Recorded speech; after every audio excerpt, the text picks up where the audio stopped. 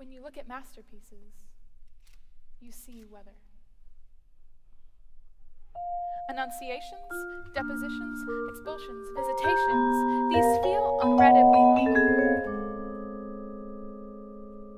So many great paintings, so much greatness, seems just a tangle of body parts ever more skillfully arranged. The Renaissance is full of people standing around. By the Baroque, they're writhing around, like a movie reel switched from an art film to a thriller. When you stood in the chapel of Santa Maria Novella, in front of the restored frescoes, you stared right past all the martyrdom and wailing and attending.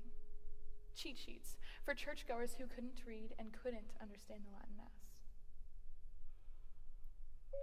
And took in the background clouds.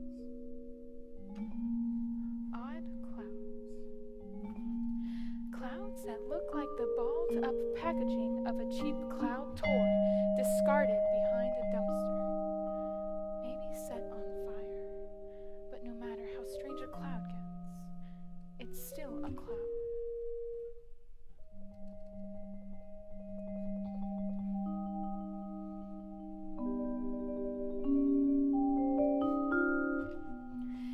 You are nowhere near a masterpiece now.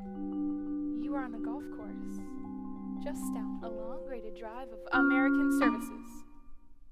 A corner with four different Phillips stations, two of which now belong to the same company. Herringbone parking lots, like the one at Mr. Steak, where you watched with a group of beatified dinner goers as a UFO descended. White dot that got bigger and bigger in the evening sky. And as it did, your sense of this is it ratcheted into your thyroids. This is it. It turned out to be a stray advertising banner fallen from the back of a small plane. The ad was for a competitor, Sizzler.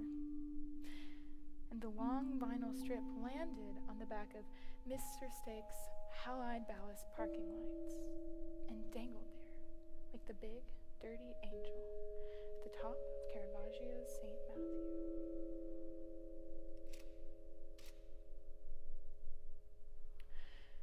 You're not sure why you're on this golf course. You have no clubs and don't play anyway. Golf is the stupidest sport you can imagine. No exercise, too much equipment to carry, worse for the environment than a speedway. Not knowing why you're there is disturbing for only a few orienting blinks. You are a photographer and have spent much of every day drifting into the find yourself waking up into the same station you didn't know you were asleep in. The camera is an amnesiac, constantly, comically, and tragically looking at a new world. And its amnesia is contagious.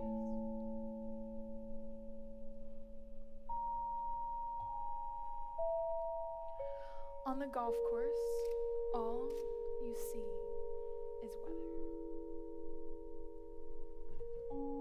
sky is dark, a darker tone than the very green fairways, if this were printed in black and white. There has been an afternoon storm and the sky looks bruised. Down at the bottom of the hill, and over the 17th green, a crowd begins climbing toward you. They are a scrambling mass as far from a Sunday foursome as you can figure, all following some fellow, tour guide, a point person, a celebrity who is charging up the fairway. They hike up awkwardly, smaller in stature, and gravitationally drawn to his huge suit and elephantine stride.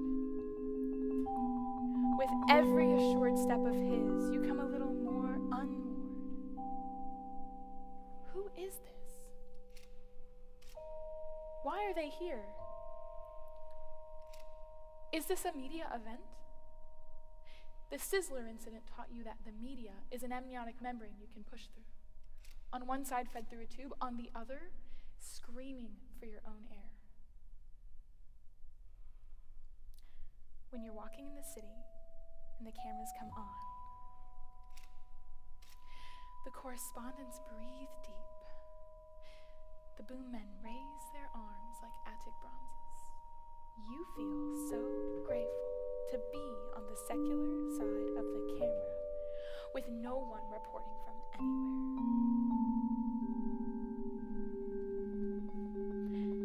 They get closer. They are people following someone up a hill on a dark summer day. As they trudge up the wet grass, breathing harder, their urgency slackens, and with it the incandescence of their leader. He's just as willful, his gait unchanged, but his followers' lungs ache. Soon you see him better than they do. On one side of the membrane, he's a large black man in a sharkskin suit and no hat, damp loafers. On the other, he's Charles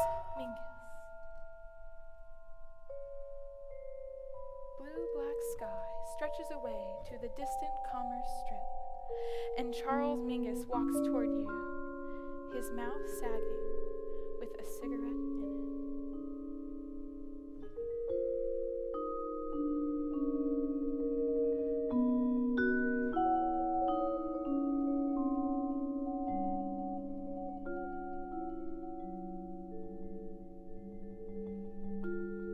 For all our succor and scorn, celebrity is nothing but the plain and the familiar.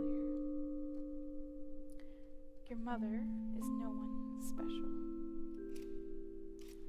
You just recognize her in the crowd, above the bassinet, in those Renaissance paintings with celebrity virgins, their entourages standing around. Charles Mingus is here. Familiar from album covers and stored displays, and all else is wilderness.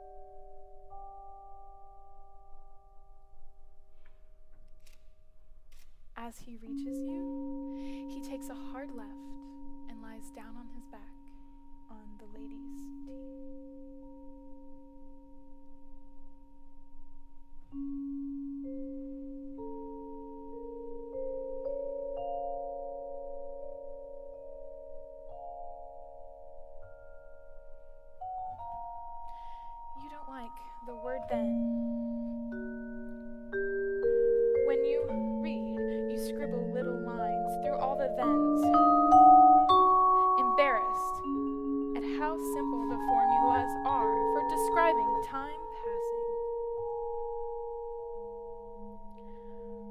the sun comes down below the slab of sky, gilding all you can see, you realize you've been saving all your thens for now. Mingus, laid out on manicured grass, just now backlit with alloyed hallows, and the wet course glinting, in the sky Here's what they mean by figure and background a picture, ready made as easy as peristalsis. This is the corpse. You're always fantasizing about finding in the weeds when you're out shooting in the world doesn't show up. The abandoned world in an alley.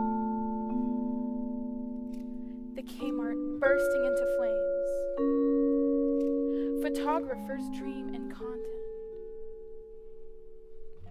The camera is a metal roll film reflex hanging from your neck with enough real weight to remind you that you have a skeleton. You raise it to your eye and are immediately punished for it.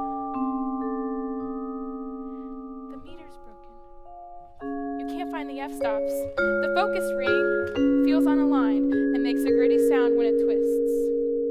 You can get infinity in, but not the foreground. You press the shutter, and it responds with the saddest sound any mechanical thing can make. Silence.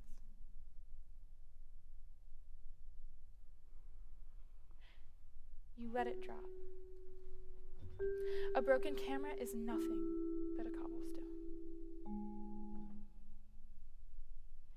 Mightier than a sword, but only because it can strike from a distance.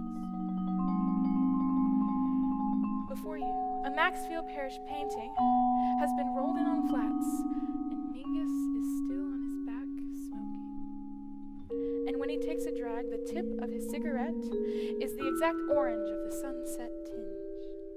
What a picture! Pulitzers, Guggenheims, Prix de Rome, NYFAs, NEAs, Louis Comfort Tiffany's, Turners, Nobels, MacArthur's pile up before you. The picture is that good. A masterpiece. Maybe all you've suffered for. That badly weighted backpack of failure you keep trying to force into the overhead compartment. The unfinanced expeditioning, the sense that art has become the hair lipped cousin of the entertainment industry